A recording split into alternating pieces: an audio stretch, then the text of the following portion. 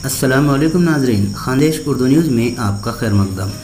जमयतलमा हिंद के सदर मौलाना अरशद मदनी ने गुज्त रोज़ मीडिया से खताब करते हुए कहा कि फ़िरका परस्ती सिर्फ़ मुसलमानों के लिए ही नहीं, बल्कि पूरे मुल्क के लिए ख़तरनाक है। मौलाना अरशद मदनी ने मुल्की हालात और नफ़रत और खौफ के माहौल पर मबनी मीडिया के कई सवालों का जवाब दिया।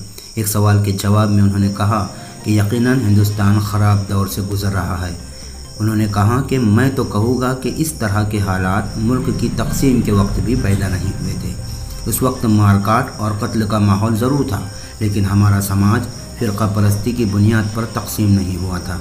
अपनी बात को आगे बढ़ाते हुए मौलाना अरशद मनी ने कहा कि जमीयत हिंद मुल्क की आज़ादी के बाद से ही इन ख़तरात को महसूस कर रही है और उसने एक बार नहीं, बल्कि हर मौके पर और हर सतह पर बार बार आगाह किया कि फ़िरका परस्ती के ढंग को ख़त्म करो। अगर इसे ख़त्म नहीं किया गया तो मुल्क इस जग, उस जगह पर पहुँच जाएगा जहाँ चाह कर भी संभालना मुश्किल होगा।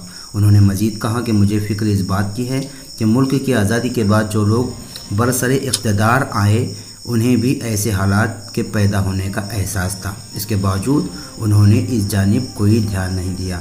अगर ध्यान दिया गया होता तो आज ऐसे हालात ना होते।